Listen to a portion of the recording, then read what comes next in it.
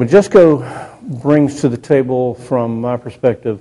uh, a very unique mix of technology, and for them to have the in-depth knowledge of the insurance industry, that's rare.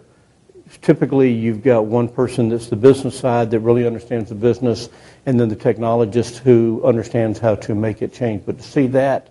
uh, strong combination in not just one, but in all three of the people that we spoke with, and anytime we spoke with anyone else uh, via conference call, any of the offshore team, it was very clear that they didn't just send three of their best people, that the entire organization had that type of culture and was uh, that deep on knowledge.